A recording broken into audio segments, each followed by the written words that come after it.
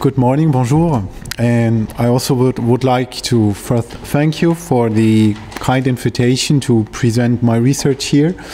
Uh, it's a rather unusual context for me, and I'm very happy to, to be able to, be, to speak about Islamic law and Islamic culture in regions that are usually presented as rather peripheral.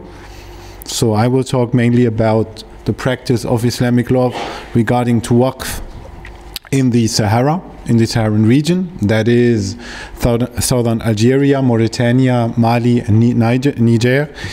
And of course, I, I, these are regions that are now uh, a bit more known for unfortunately very sad reasons, but I think I will maybe to make things a, a, bit more more or less abstract. I will I will mainly talk about a tradition that is today somehow symbolized by what is what is called the famous manuscripts of Timbuktu. So the kind of texts I work on are those that are uh, preserved in the in private libraries like those of Timbuktu. So this is just to say that what is usually referred to as the manuscripts of Timbuktu is not something unique to Timbuktu, but represents a, la a larger regional tradition of Islamic scholarship in the whole regions that emerged uh, since the 15th and the 16th century. So this just uh, for as, as an introduction, but I think more sociologically or anthropologically speaking, the question that I want to discuss with by taking the example of Waqf is how cohesive political and normative structures emerge within societies that are highly literate but largely deprived of centralizing state agencies. So this is some maybe one of the main questions of my own research. And I think that rural societies in the pre modern Muslim world are particularly appropriate to discuss this problem. Since the introduction of Islam in these societies almost inevitably entails the spread of both forms of literacy and legal normativity. So, if we take the example of early modern North and West Africa, on which my research focuses, we see indeed that especially in rural settings, the social life of many Muslim communities was often characterized by weak governmental structures but sophisticated religious institutions which diffused Islamic literacy and law on a very large scale.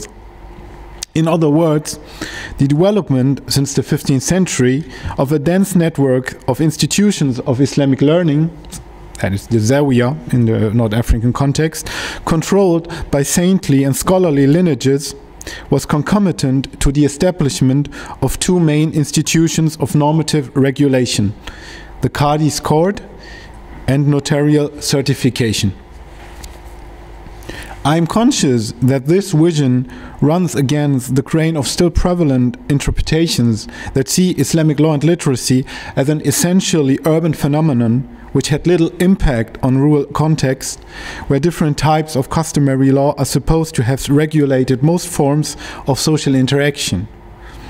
However, especially in the case of the Saharan region, recent scholarship has amply demonstrated the importance of Islam and its normative and literate traditions as an institutionalizing agent in regions facing the absence of state authority.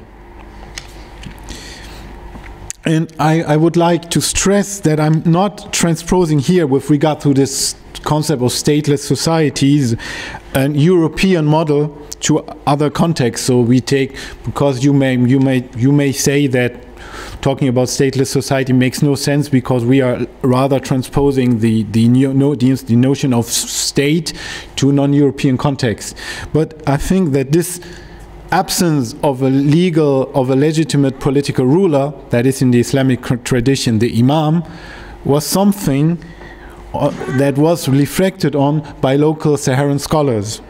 And that is incorporated in the, in the doctrine of the Bilad al-Sa'iba.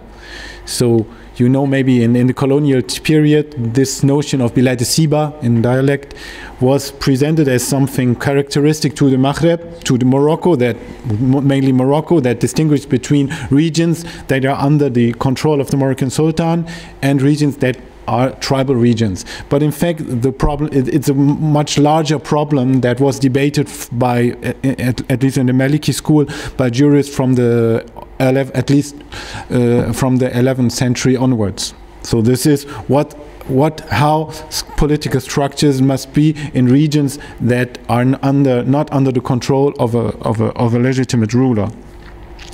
So to to go back to the Sahara, there were some Saharan um, scholars, like uh, a Mauritanian scholar, Muhammad al-Mami, uh, who lived in the 19th century, presented his region, modern Mauritania, as, as a sort of intermediary region between the Moroccan Empire and the and at that time in the 19th century the Islamic states of, of the Saharan zone in, in West Africa. So he called it the Barzakh.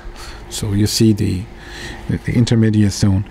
Donc in, the, in, in those regions, the cultural resources of Islam, based on the written word, furnished the raw materials to create an institutional institutional and normative framework that ensured at least a minimum of stability in economic and social exchange. And I'm referring here mainly to the pioneering study by, uh, by Ghislaine Lydon, on, on who is a prof, associate professor at UCLA on on trans-Saharan trade networks in the 19th century, mainly between uh, southern Morocco, the Wet Wet Noon region, and and Senegal. And she, in this, in her study, she she, she developed the notion of or the conception of Islamic scholars, or jurists, mainly jurists and and, and, and, and magistrates, as legal service providers. Mm, and I, I, just quote, she writes, Muslim legal service providers who engage in jurisprudence use their knowledge emanating from the Quran, other sources of Islamic law, legal doctrine, and customary law to provide a semblance of social and economic order. In addition to upholding the law, legal experts also def define terms of trade, clarify standard evaluations and, and, and equivalence, equivalencies and negotiated behavioral norms, including the commercial practices of merchants and traders. So, in a way, Islamic scholarship somehow replaced state institutions to a certain degree, of course.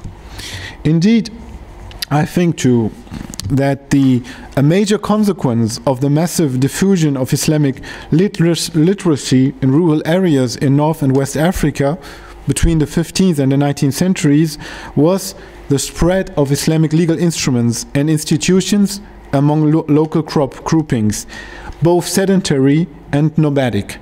So there is in, in several nomadic tribes in Mauritania, you have a very strong tradition of legal scholarship. And it's very interesting that you find in, in, in 17th, 18th century Mauritania, tribal confeder nomadic confederations that have also the institution of qadis and muftis. And you see there is a even in this context there is a clear tendency to reproduce islamic normative and legal structures so through this process, the Sharia or the Shar, though this is the Islamic normativity, becomes became the the centerpiece of societal discourse. To paraphrase um, the American anthropologist Brinkley Messick, who worked mainly on on Yemen. This is to say that the presence of legal institutions generated new patterns of cultural and social interaction, such as Qadi court litigation, the generalization of notarial certification or the practice of juridical consultation, ifta. So muftis um, um, issuing fatwas. Or, to put it differently, through the spread of Islamic literacy, a new normative order emerged that reconfigured the relationship not only between Sharia and forms of customary law, but also between orality and the written word. Because any practice of Islamic law, at least in its classical forms, somehow entails the use of, uh, yeah, of the written word, of texts, So I'm here alluding to the to Jack Goody and his uh, anthropology uh, on the on the importance of, of the introduction of uh, of of writing. So grounded in post post classical Malikism, it, the spread of Islamic literacy promoted literate forms of social communication as well as techniques and institutions of conflict management that had hitherto been limited to urban contexts. So, for example, you see in, in, in, one, in some regions that uh, village communities introduce the institution of the Shura, that is the consultative council which is very famous in the medieval Andalusian tradition. So they, for example, in a, in a, in a, town, in a, in a city like Cordoba, you have the main Qadi, the uh, Qadi al-Jama'a, who is, who, and he, who before issuing uh, rulings, consults with, with legal experts, the muftis, assembled in this uh, council, the Shura. And this kind of institutions you will find also in the Saharan context from the 17th, 18th, in, in the 17th, 18th century.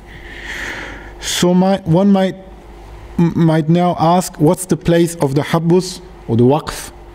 In, in, in the Malik context, we mostly say habus. And what's the place of the habus in all this? I will say that among the legal instruments that were diffused through the network of Islamic learning institutions, the habus might be seen Oh. is by far the most important and most frequently used. The massive expansion of notarial writing observable in the Maghreb and the Sahara since the 15th and 16th century amply, amply attests a widespread diffusion of Habus creations in various social contexts. So this is something almost already Jacques Berque, in his studies of, of the of, of the Berbers of the High Atlas, alluded to. That is something you you you you, you that the how the, the how to say that that becomes very um, evident from the from the 16th century onwards, because there are a lot of local of collections of legal documents pertaining to to waqf foundations. The, all these rural uh, habus have, have, have until now st been studied almost entirely by anthropologists and not so much by historians. Um, at least to my to my knowledge. So, for example, there's one uh, French um, anthropologist, Geneviève Bédoucha, who worked on the on southern Tunisia, and, then, and in her study she focused on the importance of these documents, Waqf documents, in, in contemporary lineage struggles. This is to say that a history of the rural Habs institutions that engages in a long-term analysis still remains to be written. And today I would like to make a modest contribution to this history of the of the Habus institutions in, in, in, in, rural context by focusing on the question how the Habus were integrated into structures of community organizations and how com community organization and how communities dealt with the problems arising from rural Habus administration. The examples I will present are taken from legal documents dating from mainly from the 18th century and coming from the oasis of Touat in present-day southern Algeria. So on the map you see the maybe you see the town of Adrar, you see, and Reggane. So it's really in the middle of the Algerian Sahara. So this is the the region of the oasis of Touat. is a region composed of several oases that is somehow in a way mark the constitute the frontier between what I would call the North Africa or the Maghribi Sahara and the Sahelian zone. So they, it's about thousand kilometers or 600 kilometers in the south from Oran and six also 500 kilometers or thousand no no more uh, 700 kilometers to Timbuktu so it's really like a like a how to say a my English. So it's a, car a carrefour. Uh, pardon. but you see the point. So this is really some a, a region situated between sub-Saharan Africa and and crossroads. Why? that's the word. Excuse me. So this region emerges from sixth, uh, from from the 6th to 15th century as a major center of Islamic learning traditions in the Sahara. And especially from the 17th, 18th centuries onwards, we have the, devel the development of very important local literate traditions that are mostly linked to legal scholarship. So, for example, my, own, my PhD thesis was about to, to reconstruct how Islamic uh, justice or the Qadi institutions functioned in this region, and I based, based my analysis on the uh, on the uh, uh on the ex exploration of several corpuses of jurisprudence of fatwa collections, which is called in, in Arabic nawazil and which were um, assembled in the in the region between six, um, 1770 excuse me uh, 7050 and 8050 so in in and these collections contain consultations uh, issued by different uh, legal legal scholars of the regions, and also but also can include the transcriptions of Qadi's decisions. So, just to give you some, so this is one some pictures of the Tuat region. So it's a region composed by villages and uh, and agriculture based on date date, uh, date, date groves. So so this is this kind of um, manuscript I worked with. So you now, what, for example, this is um, an excerpt from an, uh, from the from a from a uh, there was a collection of the uh, from the 18th century written by a, by a local scholar and it contains you see this the chapter on on jurisdiction jurisdiction نوذ القضاء وشهادة وما تعلق بها يتعلق بها and on the, on the basis of this liter legal literature, I was able, you, it is possible to reconstruct how legal normative Islamic normative institutions worked and mostly how they interacted with local populations. I should add that some I feel I will make some also some remarks on the on the political structures of the of the region.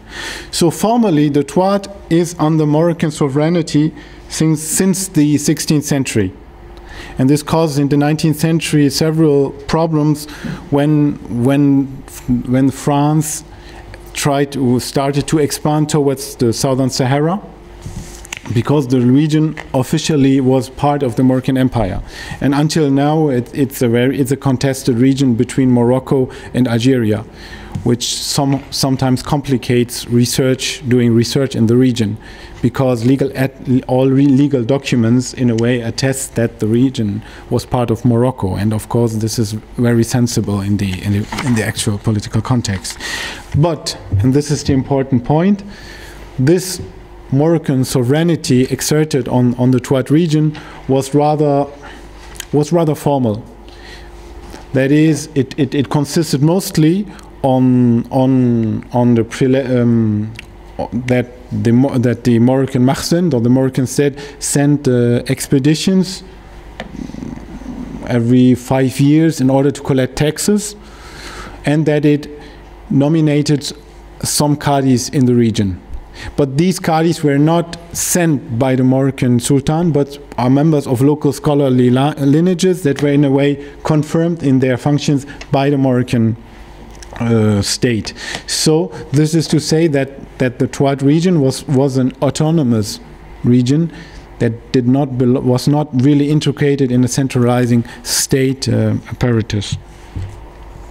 So the political structures in the region at that time were marked by an oligarchic regime that was controlled by two main actors what I call secular notables and religious scholars and saints. So, this is also just one point. I think that the distinction between scholars and saints is not very useful for the Sahara in, in the Saharan context. There's a lot of things to say, but just to put things shortly, at that time in the 18th century, there was not a real, how to say, contradiction between being a saint and being a scholar. Mostly these things were together. So someone could be a Qadi and at the same time uh, initiate people to Sufism, etc. Just a brief remark. So, but to make just to, to, to but to indicate that both kinds of religious behavior were present in the region, I, I use the term scholars and saints, but most often these are the same persons. So what I consider secular notables, I, there I refer to to to merchants and members of most of them, or um, or, or, land owning or uh, a land owning elite that had no that had no particular religious prestige based on learning or, or sainted, sainted, saintness, sainthood. But what is important here to, in the case of Tuat, to underline is that these notables are most often members of Shurfa lineages. So Shurfa, this means that is, uh, these are families that that um, vindicate to uh, to um, de descendre to uh, to be linked to the prophet. Um, and most often, and normally in, in, in, in, North African studies, even these, these groups are, are presented as part of, of the religious establishment. But what's very interesting in the legal documents from Tuat and other Saharan regions is that they somehow show a much more secular profile. For example, most of them are slave traders, engage in tribal warfare, so they are not really like uh, like like in, in in northern context. They are not peacemaking neutral mediators to to to use uh, to some terms from from social anthropology from the social anthropology tradition. So the secular notables in the Tuat region, most of them are shurfas. And they do not um, present the profile of religious scholars. So these both groups of, um, of, of, social elites concurred to create a normative, a cohesive normative framework for social interaction that focused on, on several points of um, where, we, where we can dis distinguish several domains of, of intervention. That is, first of all, of course, litigation and public order. So that is the, the, the Qadi courts and, and any other forms of, uh, of, of making justice. Then the control of natural resources and ag agricultural infrastructures with regard to water, to, to the irrigation system based on, on subterranean water galleries, the Foggara, and the disposition of land, land plots and palm groves. Finally, the then the administration of communal institutions, mainly the mosque and the Quran school, the Kutab, and also the the anima uh, the the organization of a kind of public reg reg register with regard to to to land, land property and also water property, because in the region water is owned. It's also um, it's a it can be uh, subject to private property. Finally, we have the organization of a collective policy with regard to external threats. That is mainly the, the tributes uh, demanded by by no nomadic tribes huh, who make exert a, a, strong pressure on these um, Oasian uh, villages, and also with regard to the Mars, to the Moroccan Makhzen, who, uh, when it comes to when they when when he sends its when it sends its troops to Lev Levi, Texas. Don't how to in order to organize all these different tasks Different, uh, several institutional roles were distributed among the members of this oligarchy, and, in, in, and this can be reconstructed from the legal sources. So, on the one hand, we have the protagonists of Islamic justice, the Qadi and the Mufti, both functions are assumed by, of course, by the members of the different scholarly and saintly lineages. And here also I, I, would like to insist that the term Qadi and Mufti refers to functions. It does not refer to, to persons or personalities. This is to say that a Qadi can at the same time be act as a Mufti, and a Mufti by times can act as a Qadi. Sometimes this is not, not, not, not clear. So this, uh, these are the protagonists of the of Islamic justice. On the other hand, you have secular notables that appear most often as a collecti collectivity, as the village assembly, the Jama'at al-Ayan. That is the yeah the, the, the village council was the main institution in organizing um, the uh, public order, etc but also as, as individuals, these secular notables appear through two main institutional roles as witnesses, notaries, as shuhud, and as legal experts, araf. I will come to that later in the, in the different examples I will present. But just to say that these, this is the institutional framework in which the, the administration of Waqf takes place. So as a legal instrument and as a social institution, the habus is of course omnipresent in 18th century Tuat. Because, first of all, most landed property is under habus regime. And as such, it, it and, and we are here in an agricultural society, so owning land and managing land property is the most important part of, of normative uh, activity. So, for example, in the in the most important um, collection of, of fatwas from Tuat, which that is the corpus called the Ghunya, dates from the beginning of the 19th century. The chapter dealing with Habs, or Waqf problems is by far the most voluminous and contains more than 100 folios tightly written. So this is an example of the of the Ghunya. And this frequency of cases documented in the Nawazil reflects the importance of the hubs in local property practices and the exploitation of agricultural resources. Then with regard to Tuat, we have to, but with regard to the Habus, we have to distinguish between three types. We have, on the one hand, first we have, of course, as in any rural uh, context uh, in North Africa, what, what is sometimes called private habs, waqf or habs ahli. That is, that normally these these waqf are used in order to circumvent the the, the inheritance rules um, defined by the by the by the Sharia. So this is normally in these in these agricultural uh, societies, it's a way in order to avoid that property will be uh, will be uh, how to say will be will be fragmented. Yes, thanks. But I and, and also it's it is normally presented as a mean in order to uh, to avoid that women obtain their share inheritance. But what I want to to stress is that that these this is only one possible use of the waqf or of habus. Um, uh, I saw from the documents I analyzed that that also the hubs was used in order to to guarantee uh, uh, to women their share in inheritance. So it's it's a very complex question. So this is the first most important type of waqf in the region.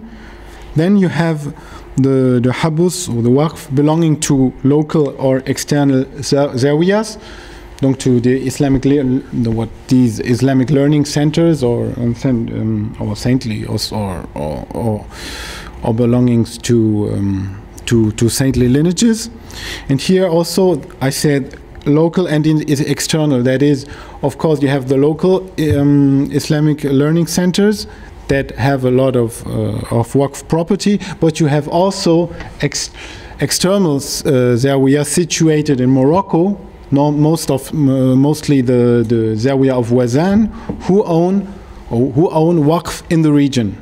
Just to say this is a very complex uh, um, uh, situation.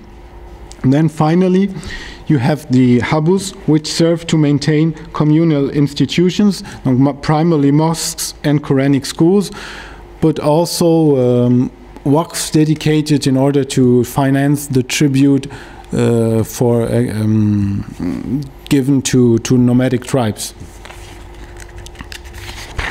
And it should be noted that the habus pertaining to zawiyas are situated at an intermediary level between private and public hab habus.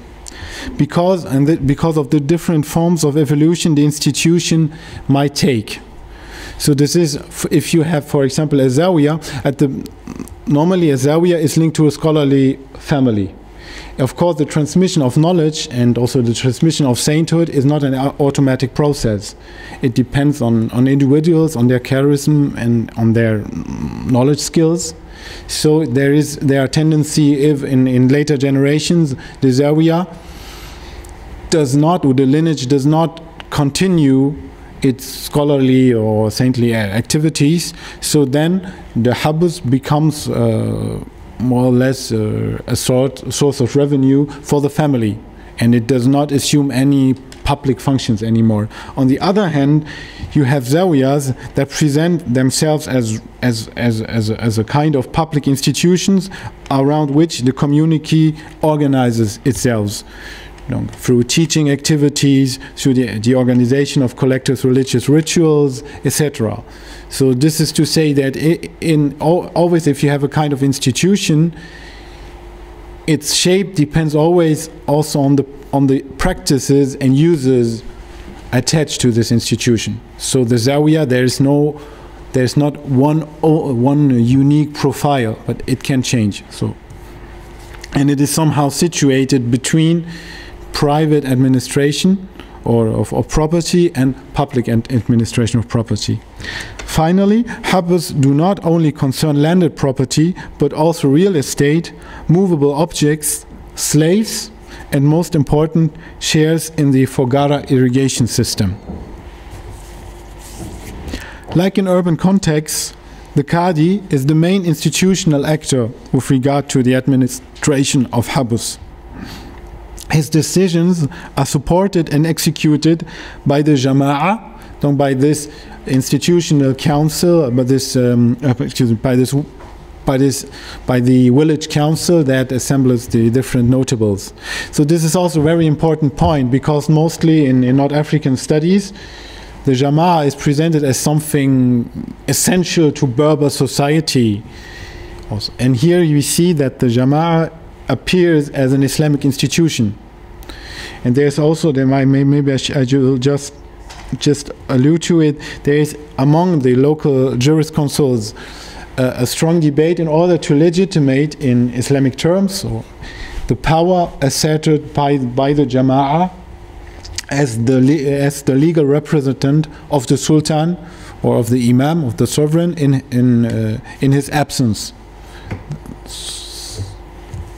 That means that the, uh, it's, it's, not very clear, excuse me, um, the Jama'a, the, the local jurisconsults present the Jama'a as the only institution that has the right to replace the, the missing or state structures in a way.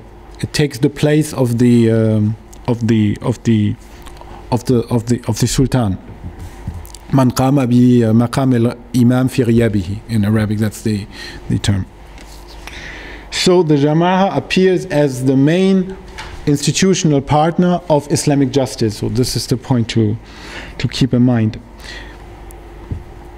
In the absence, even in the absence of a Qadi institutions, or for some villages there is no Qadi, the jurisconsults, no, there was first the practice, there was the practice that the Jama'a take took its his place. So assumed the main prerogatives as the Qadi. And this practice was also legitimized by the local jurists with the same argument that normally if there is no Qadi, if there is no Sultan, then the Jama'a takes its place, it takes uh, their place.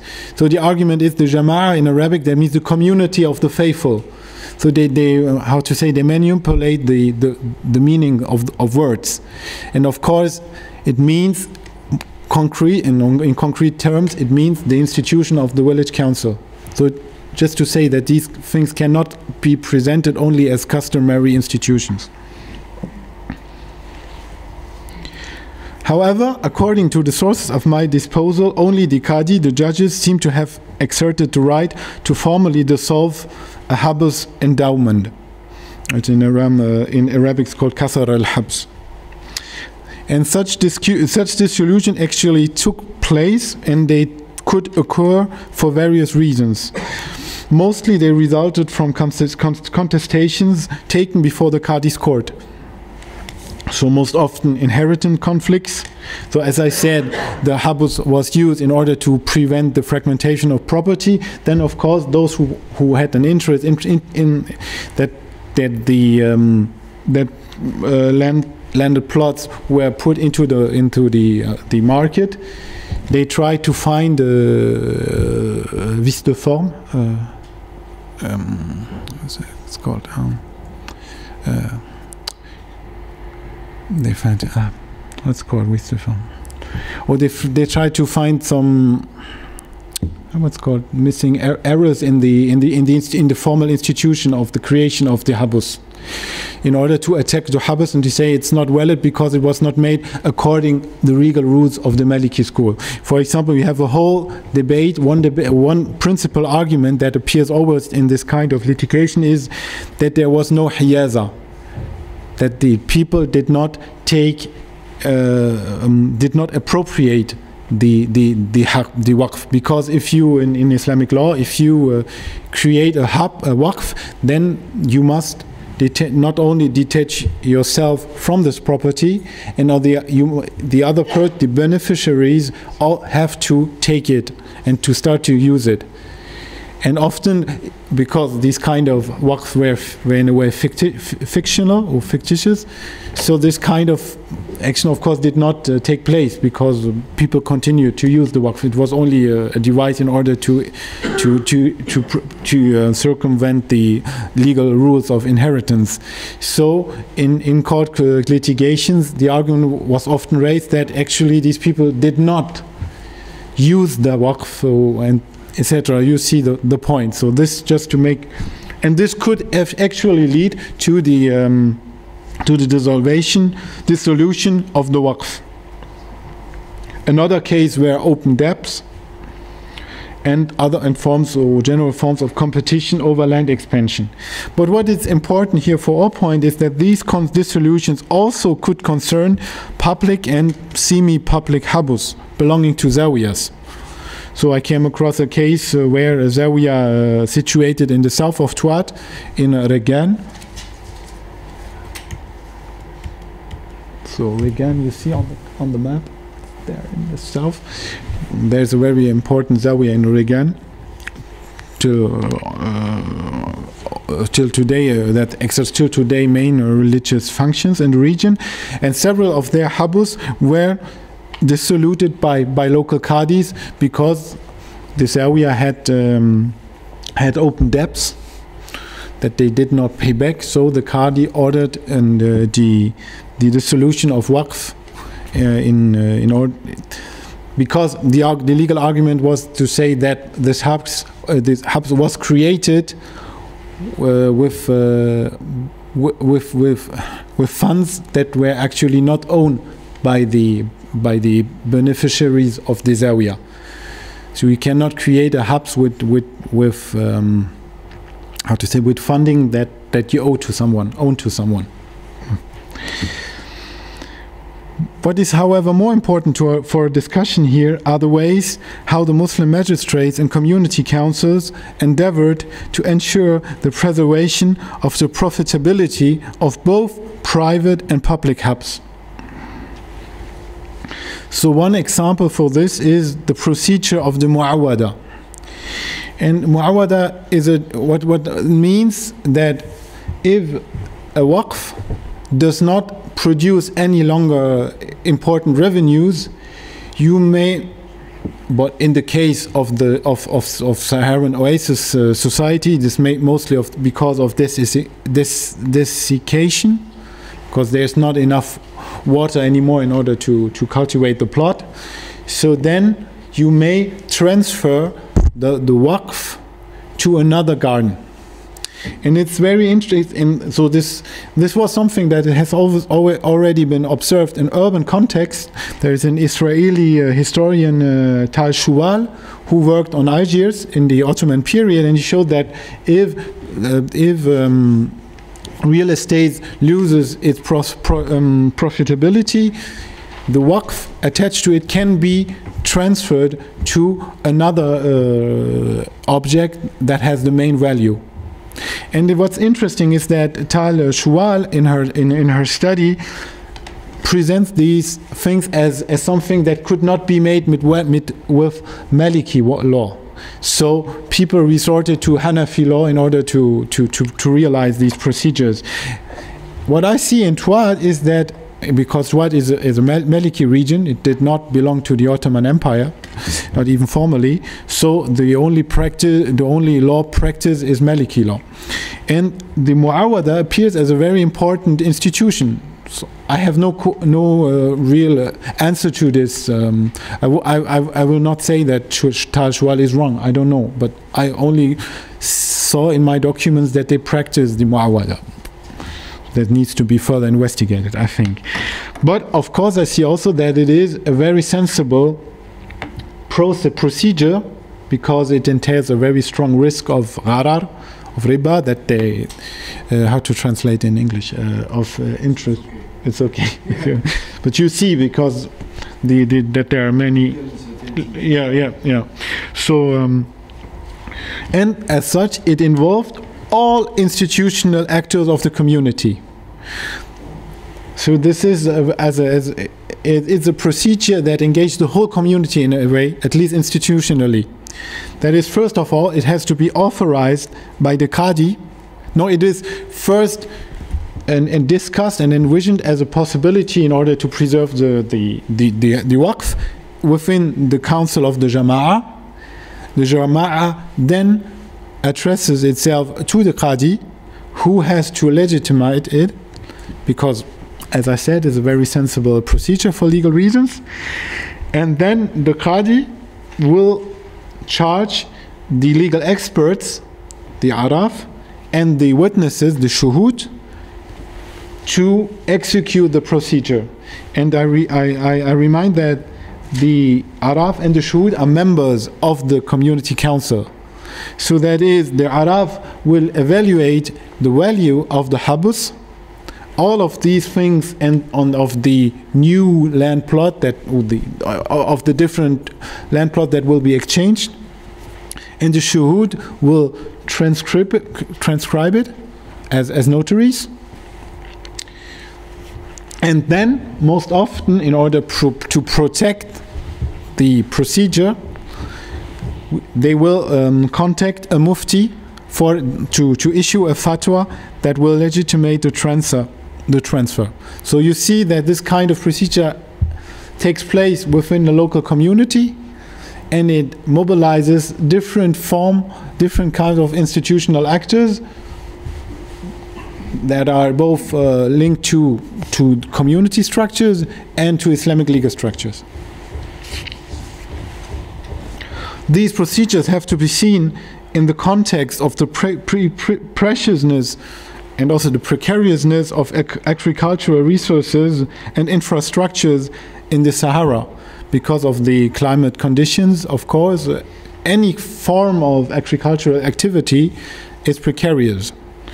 We learn, for example, in one legal consultation that comes also from the from the uh, uh, from the Ghunya compilation, from this compilation, that that in one that once a legal consultation demand, istifta in Arabic, was addressed to a local kaf, uh, mufti or local jurisconsult concerning a case where in a village heavy winds threatened the, the, a palm grove under Habs regime whose be, be, beneficiaries had em emigrated.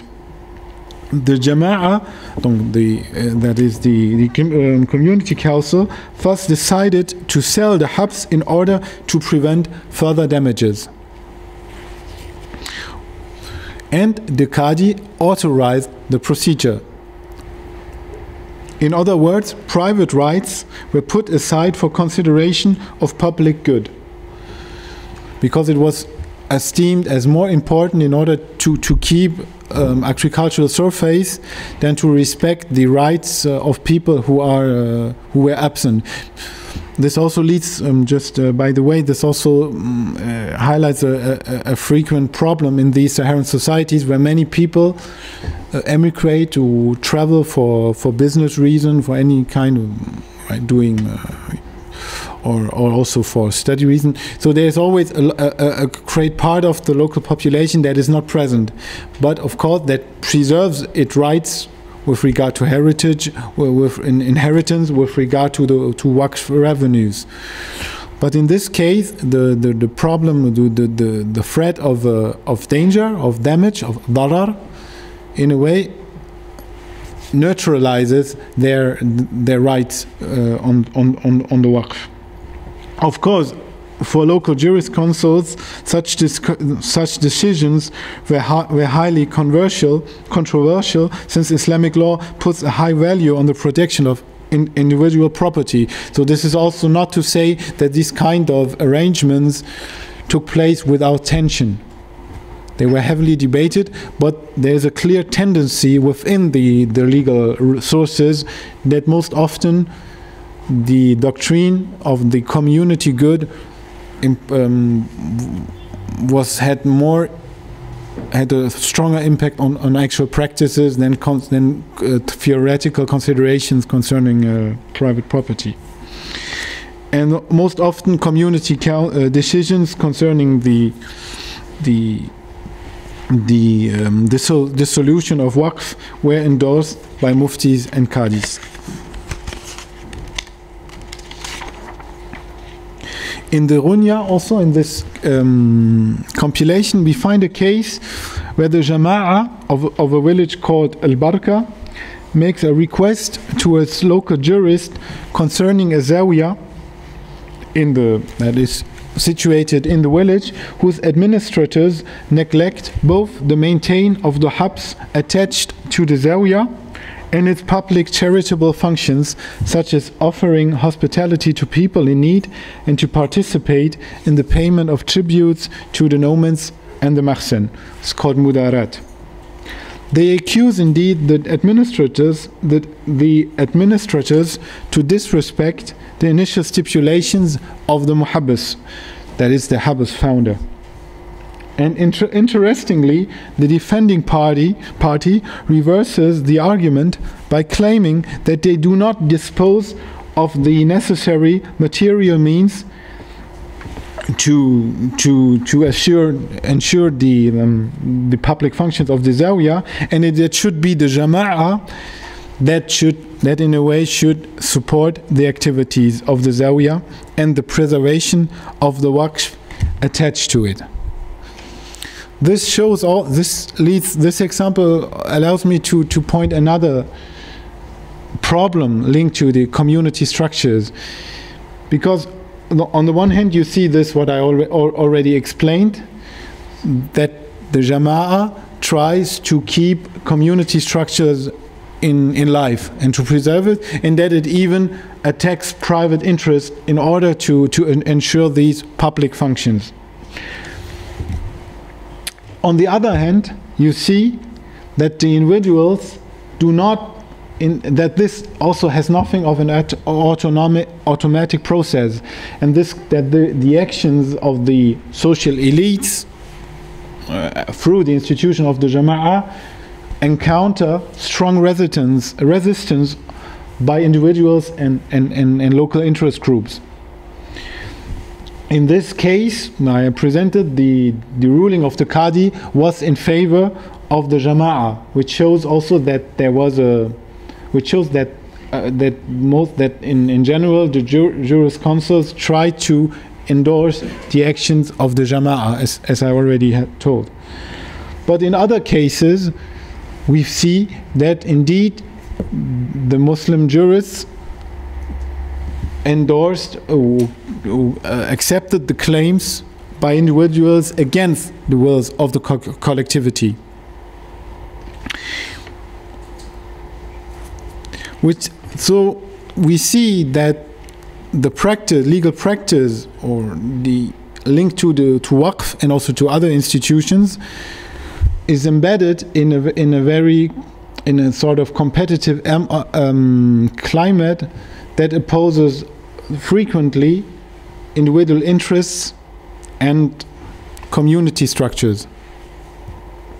Another illustration of this classical sociological problem of the antagonism between individual and group interests are the frequent conflicts between the imam of the village mosque and the jama'ah, which pays his salary from the revenue of the habs attached to the mosque. So, because this is most of the imams leading prayer in the in the mosque are not members of the relig local religious elites, but are more or less marginal figures, most often foreigners, that are engaged by the Jama'ah on a contractual basis, and they perceive a salary coming from the uh, from the Waqf foundations. And very often we see that that that this creates problems because sometimes uh, since these people are not really members of the communities they have no very strong links to the community very often they want to leave before the end of their contract. So the Jama will seek the Qadi court in order to avoid this or will ask the uh, the imam to to um, rembourser to to to pay back the salary perceived from the from the from the waqf. So this also is, is an example that shows that the individual and the community do not always get along with each other. And I think that these kind of conflicts are ex ex exacerbated by the absence of central political power capable to that is able to impose its decisions this is not to say that the Jama'ah was deprived of coercive means, but that these means nevertheless dependent always on broad consensus within the member, with among the members of among its members. Because any member of the of the Jama'ah represents also a lineage, a family. So he's also a sort of he has also his own individual interests and also the interests of his group and all which makes that that the process process of decision taking within these community structures are could be easily manipulated.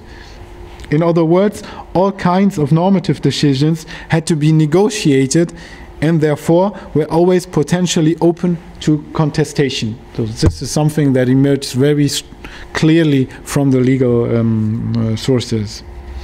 Yet and this might um, open our discussion it must be stressed that all such negotiation and contestation takes place within a normative and institutional framework that emerged from a constant interaction between Islamic legal thought and local contexts.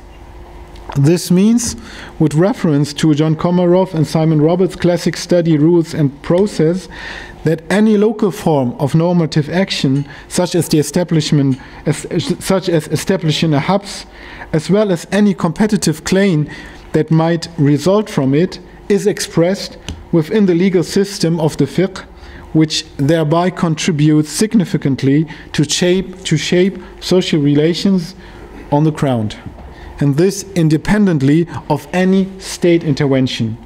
It thus shows that the imposition of a legal order through consensual mechanism cannot be reduced to a question pertaining to the study of custom law, that it, but that it can also be addressed uh, with regard to the practice of Islamic law. Thanks.